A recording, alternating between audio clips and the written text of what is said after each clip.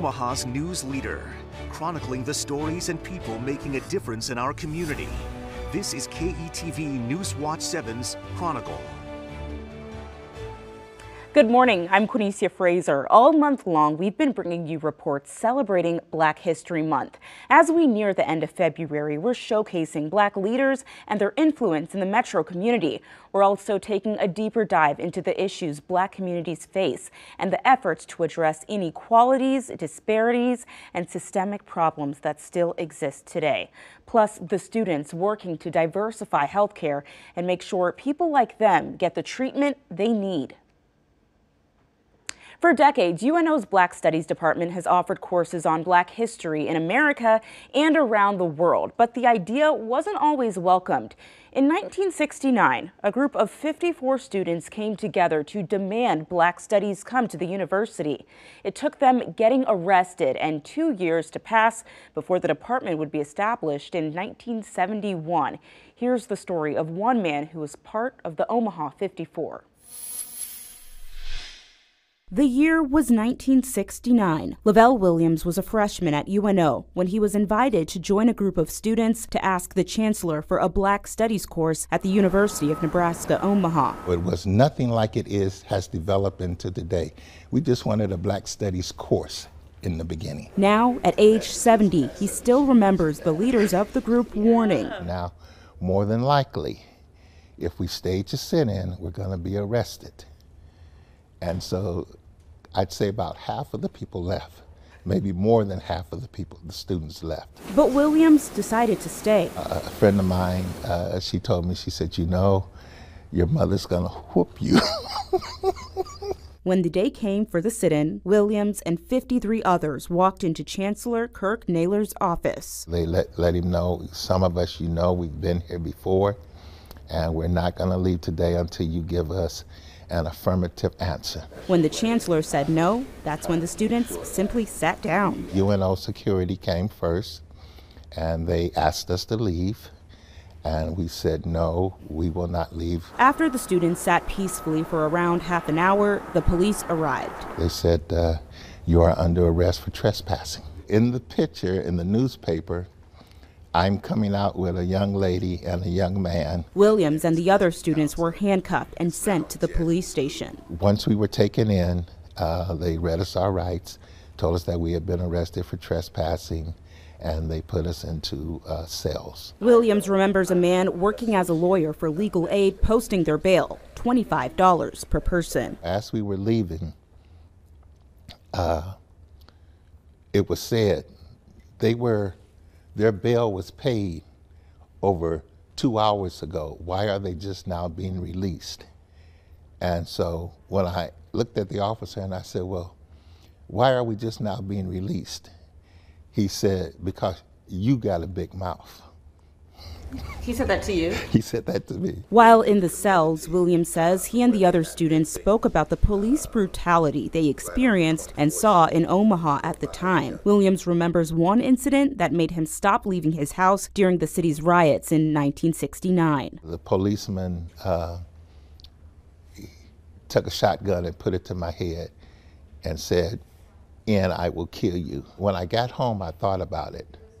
I could have just as easily been dead if he'd have pulled the trigger. While scary, experiences like that only fed his desire to help in the larger fight for racial justice. Black studies, it's, it's a, a viable discipline like math, like English, like history. Black Studies Department Chair Dr. Cynthia Robinson makes it a point to teach her students about the Omaha 54. They put their, their reputations, their livelihood in jeopardy um, but they thought that that was such a, a, that it was a need to sacrifice that. A sacrifice that paid off in 1971 when the university finally established the Black Studies Department. My thought was, whoa, finally, after all this time. Joining us now is another member of Omaha 54, Michael Maroney. Michael, thank you for joining us. My pleasure. Yeah, and so, you know, today you are the president of the Omaha Economic Development Corporation. That's what people know you as today. But when I spoke to Lavelle, I learned that you were actually one of the leaders of the Omaha 54. Uh, yes, I guess I was out in the forefront of that uh, effort Yeah. So, you know, what? How old were you at the time, and what was your classification at UNO? Well, let, us back up because it didn't really start in, in 69. Yeah. It actually started in 1967. Uh, I founded uh, uh, an organization on campus called the uh, Afro American Council for Action. Um, I was one of the co two co-chairs. Uh, uh, a guy named Jimmy Dow was the other co-chair of that organization. And basically, it was a group of black students. And we were concerned about the way black students were being treated on campus. And one of the things that we did protest was the fact, the lack of a black studies course. Uh, in fact, in December of 1967, we staged a what we call a stand-in. Mm-hmm. in the, at that point, at that time, the dean of the history department's office, and we demanded that we get a black history course taught on campus. Well, lo and behold, what the university did was they sent a white professor uh, back east over the summer uh, to study black history and came back that next fall uh, to teach black students about black history. Uh, I was not in school that year, mm-hmm. but when I came back the next year in, in 69, uh, the organization had evolved into what was then called the Black Liberators Action on Campus, or BLAC. Mm-hmm. And they were sponsoring a dance uh, one evening. Um, I and a few other friends, uh, we weren't members of the BLAC, but we decided to go to the dance.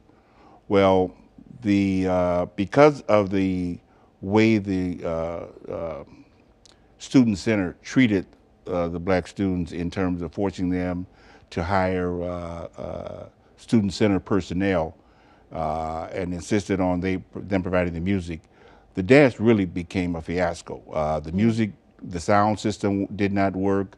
Uh, so when people came, they couldn't hear the music. You know, was, so they would leave, and uh, the student center still had the nerve and audacity, although it was their fault, uh, to charge the organization for uh, ticket takers, uh, coat check takers, sound, you know, yeah. the music. And so they kind of got upset. And uh, they were uh, angry and were talking about protesting the dance. Well, some of us who had been around a couple years before saw it as an opportunity to say, maybe there's a broader uh, effort here we ought to kind of help shape. And so uh, we joined with those, with, with, with those uh, BLAC members and met for weeks, deciding that there were a lot of other problems and issues on that campus than just uh, a failed dance. Uh, and the Black Studies was one of them. And we had evolved from a Black Studies uh, course to saying we ought to have a Black Studies department. Uh, I can't remember all the 10 demands that we asked for at the time, but uh, like uh, we knew that the uh, uh, student, I mean the athletes weren't being treated fairly. There was no recognized black organization on campus that could take advantage of student activity funds. So those are some of the things that we, we advocated for. Yeah, so fast forward to the day that you guys decide to go to the chancellor's office. What I remember Lavelle saying that he was told by a leader of the group that if we do this, we might get arrested. Yeah, we wanted people to understand that there were those of us who were real serious about this, and having experienced a lot of things prior to that point, we did not expect that we would get a favorable answer uh, from the university. So when we, when we marched over on that Friday, our intent there was just to present the demands and then give that weekend uh, the opportunity uh, for the chancellor to, to, to uh, take into those considerations of those demands, uh, although many of us felt he wasn't going to respond favorably. Uh, but we also then alerted other folks that uh, we didn't know what was going to happen and to be prepared for anything. Uh, in fact, some of us actually knew we'd probably get arrested because we weren't going to leave. Uh, so we had actually talked to uh, leadership in the community, the Urban League, the NAACP, the Wesley House, alerted them of what was coming down. So I think we have time for one more question. About a minute left. I want to ask you, when you see the young activists today, What similarities do you see between yourself when you were that age and the activists rallying for, you know, essentially the same causes today? Which is a, to me, it's a tragedy. We shouldn't be having to do that 50 years later, uh, which basically says not a whole lot has changed in mm. 50 years. Uh, I think we've got to become more intentional, uh, and there's got to be a, greater seriousness on the part of the broader community to really want to see uh, change happen. Michael, I really appreciate you joining me today and giving me some more of that context behind the Omaha 54. Thank you. My pleasure. Thank you. Still ahead, diversifying the sciences, the efforts to teach children of color everything from coding to biology. We'll also talk to our own Anthony Copeland and how he got involved in meteorology.